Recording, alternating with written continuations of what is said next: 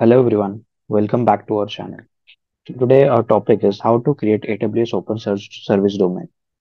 So in this video we will see how we can create an Amazon Open Search Service domain. We will see what is Amazon Open Search in details. We can also see the differences between Open OpenSearch and Elasticsearch. Creating an Amazon Open Search involves several steps and I'll guide you through the process in a simple and detailed manner. This guide will walk you through creating an Amazon OpenSearch cluster and retrieving the necessary connection details, including the hostname, username, and password. So first we will see what is Amazon OpenSearch service. OpenSearch is an open source search and analytics engine derived from Apache Lucene. In this context of AWS, Amazon OpenSearch service is a managed service that make it easy to deploy, operate, and scale OpenSearch clusters in the AWS cloud. AWS OpenSearch service is fully compatible with open source and provides additional features and integrations with other AWS services. Amazon OpenSearch is just a successor to Amazon Elasticsearch service. AWS offers OpenSearch service to perform log analytics, real-time monitoring, visualizing up to unstructured data, and many more.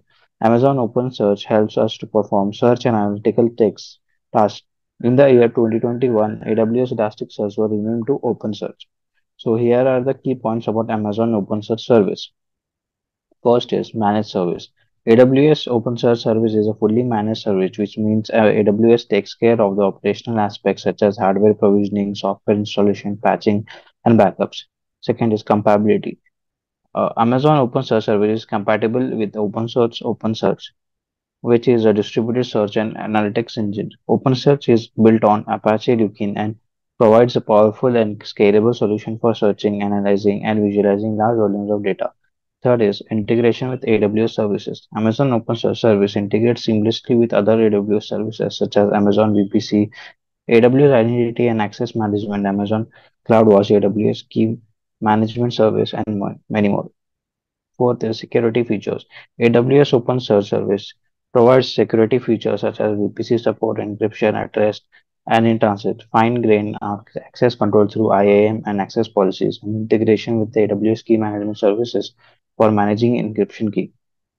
Fifth is use cases. AWS open source service is commonly used for a variety of use cases, including full text search, long and even data analysis, application monitoring, and many more.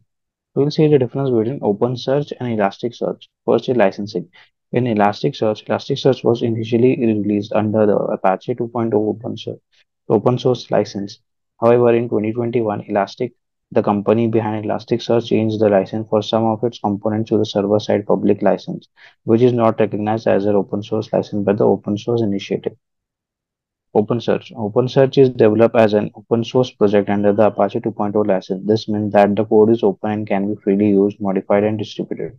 Second is governance and development. Elasticsearch. Development and governance of Elasticsearch were primarily under the control of Elastic the company that created it.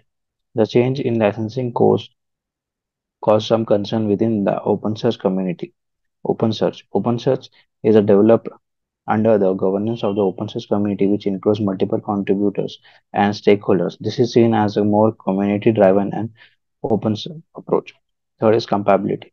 Both open source and Elasticsearch are compatible with each other at the API level. This means that application and tools built for Elasticsearch can generally work with OpenSearch and vice versa.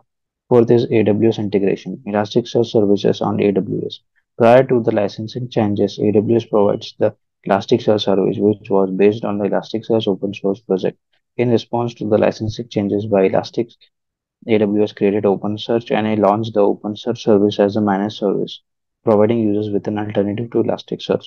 OpenSearch service on AWS. AWS offers the OpenSearch service, which is based on the OpenSearch project. It allows users to deploy and manage OpenSearch clusters in a managed AWS environment. Community and ecosystem. Elasticsearch. Elasticsearch is a well-established community and ecosystem with a wide range of plugins, tools, and resources available. OpenSearch. OpenSearch is building its own community and ecosystem and it benefits from the contributions of various organizations and individuals. Now we'll see the prerequisites. Before proceeding, make sure you have the following prerequisites in place. You will need an Amazon Web Service account in you. If you don't have one, you can sign up for a free AWS account. Basic knowledge of AWS services and concepts. So now let's create an OpenSearch domain. Step 1. Sign into AWS Management Console. Open AWS Management Console. We will create here a domain Basically, domains are the cluster with settings, instance types, instance code counts, and storage resources that we will specify. Once logged into AWS Management Console, search for Open Search in the search bar at the top of the page. So we'll search Open Search. Now we'll click on the Amazon Open Search service from the search result to open the Amazon Open Search service dashboard. Step 2. Create new Amazon Open Search cluster. Now we'll click on create a new domain button in the Amazon Open Search service dashboard. Enter a new domain name for your Open Search cluster. Mine is new domain.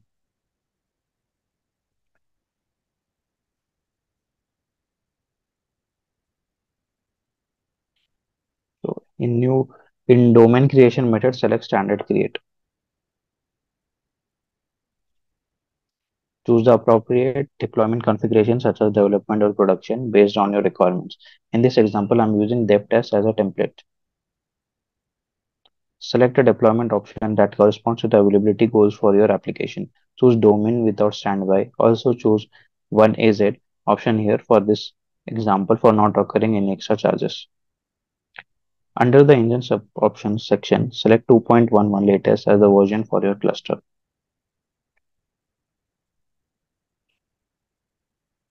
Then configure the remaining settings for your requirements. Select an instance family and type that corresponds to the compute memory and storage needs of your application. Now select general purpose and in instant time we will select T3 small search. We will edit the number of nodes. We'll keep it one.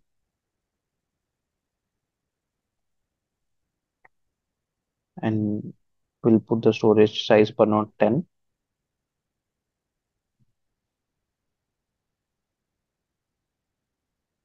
So leave remaining setting as default. In the network section, select public access and dual stack mode.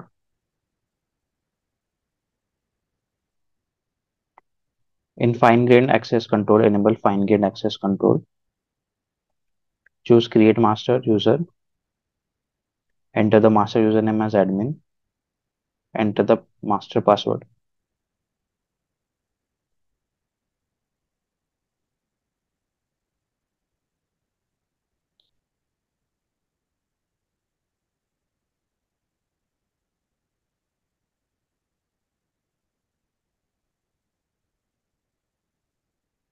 and we will confirm the master password.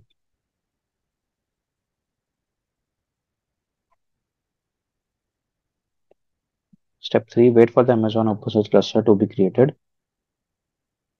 The Amazon OpenSearch cluster creation process may take several minutes. Wait for the process to complete. You can monitor progress on the of the cluster creation on the Amazon OpenSearch service dashboard.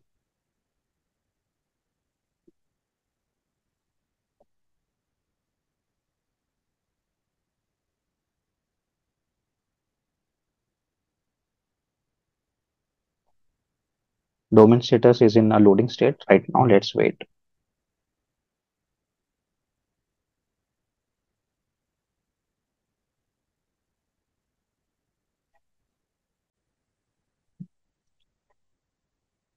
So after waiting 15 minutes, it's in the active state now. Here you will get OpenSearch dashboard URL and domain endpoint. Click on URL to open the OpenSearch in new tab.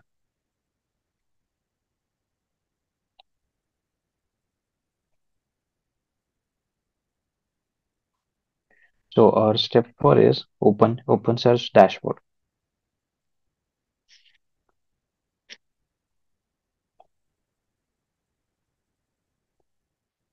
We will wait until let's get loaded.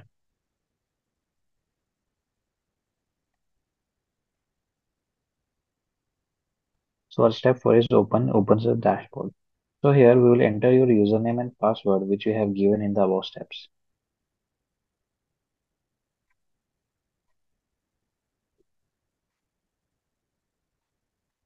I have already added the username and password. So we will move forward. So now let's move to the open source dashboard and there we will add some sample data for visualization.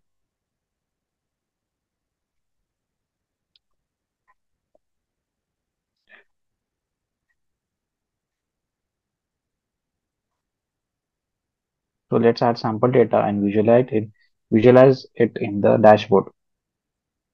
Now we'll add uh, here sample e-commerce data.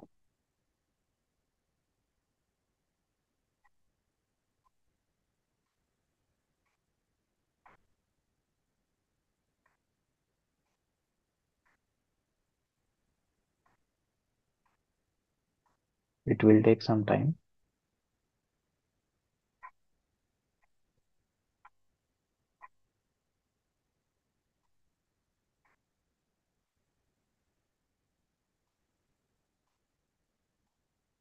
So now we'll click on view data. So you can search your data and analyze your data by adding filters. Also, you can create your own dashboard here.